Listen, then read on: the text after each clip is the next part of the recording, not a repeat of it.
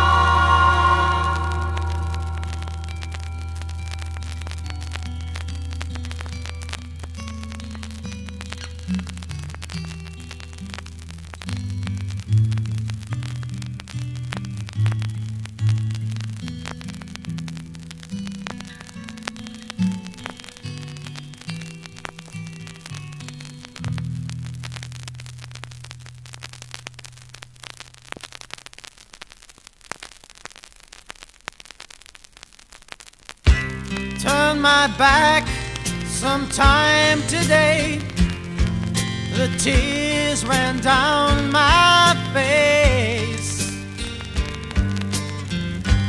Told them that I'm gone away. Couldn't take the face. Well, I